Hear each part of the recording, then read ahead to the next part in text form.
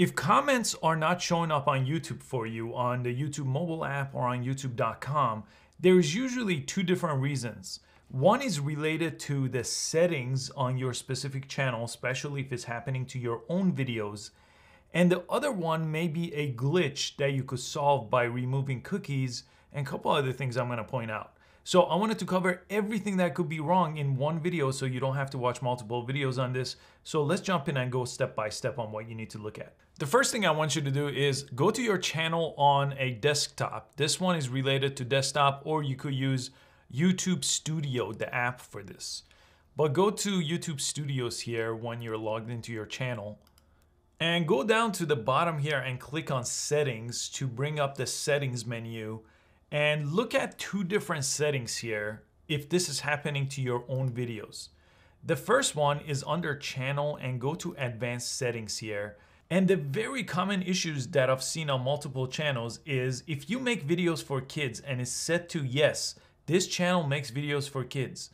If this is set to this, or if you make videos for kids and you have to set it to this, you will not have comments on that video. It just will not show up. This update has been around since 2020. So kids videos, videos made for kids will not have a comment section. So if this is set to yes, that's why you don't have comments.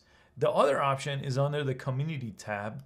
And if you go to the default settings here, this may be set to comments are disabled or all comments are held for review.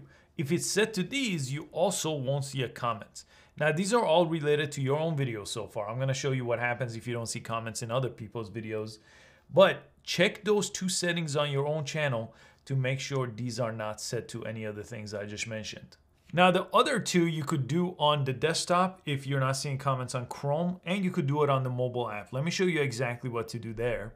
Go ahead and launch YouTube, the regular YouTube app here, and then press your profile picture on top to come to the settings page.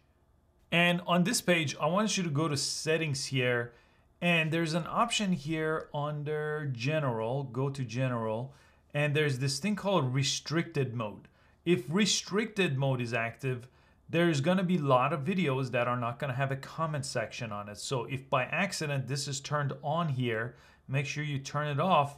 But again, this may have a purpose for it beyond comments, right? So you could read more about that here, but this does limit significantly the type of comments and the videos that have comments that will show up on YouTube. So that's the third most frequent option.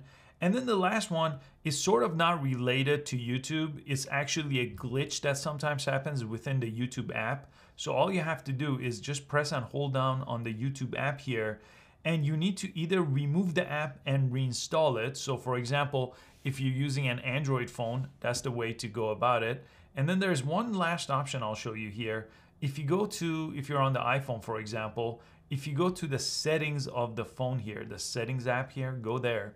And in the settings menu here, all I want you to do is slide all the way to the very bottom of this page. And usually the YouTube app shows up on the home page here. So if you go to the YouTube app, what may be happening is background app refresh might be turned off, which I actually recommend people turn off in most apps. But sometimes when a settings does get changed, it is not refreshing in real time. So this may be causing a glitch for you in that YouTube setting, specifically that YouTube setting. And if this doesn't fix it, just download the app again after you get rid of the app. So make sure you know your login information, your username and password. So when you reinstall it, it may solve your problem that way or just offload it and reinstall it.